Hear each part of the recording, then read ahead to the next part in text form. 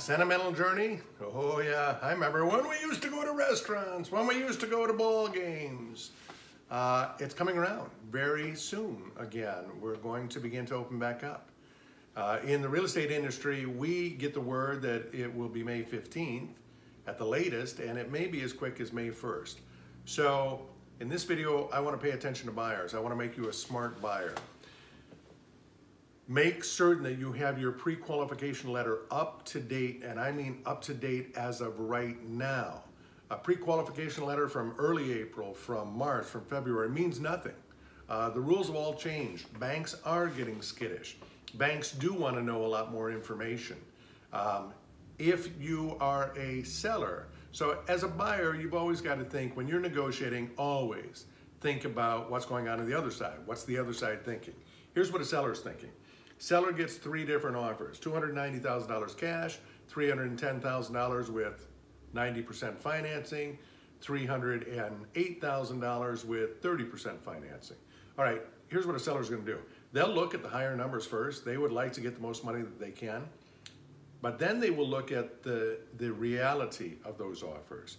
Uh, the 10% down, 90% financing, probably going to have a really tough time getting to the finish line. Even though it's the highest offer, they're probably not going to go with that one. The 30% down, well, that's intriguing. That's very intriguing. Uh, because at 30% down, banks get a lot uh, more comfortable with taking any sort of risk. Uh, so you have to make certain that your pre-qual letter, if I am the seller's agent, I am calling that lender and saying, hey, Tell me what's going on at your, your bank or your lending institution. Are these deals really getting done? What are you running up against?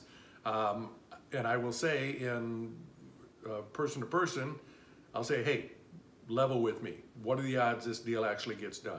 Because the cash deal, I know the cash deal is going to get done. Cash is going to be king again coming out of this. Cash deals are going to get done. But if you are one of those people who are, uh, are going to be financing, don't worry, there will be a market for you. Just be as smart as you can about it. So these things, your pre-qual letter, absolutely up to date. Keep your inspection periods short. That's more attractive to a seller. Um, keep your closing date as compressed, as short as possible. Close as soon as you can. Sellers don't like to be jerked around for two months only to find out you can't do the deal. So make certain that you get out there and get up to date with your pre-qual letters. If you're going to get into a bidding war situation, um, call me. That's a discussion for another time. There are definitely ways to win bidding wars, and it's not overly complicated.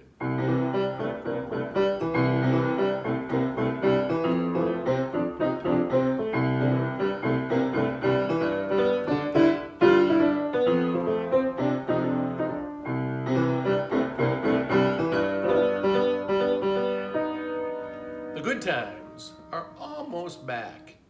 We'll go through this little chop a little bit uh, now and again, uh, but we've overcome an awful lot in this country, uh, and this will not be the last time, and the good times are right around the corner.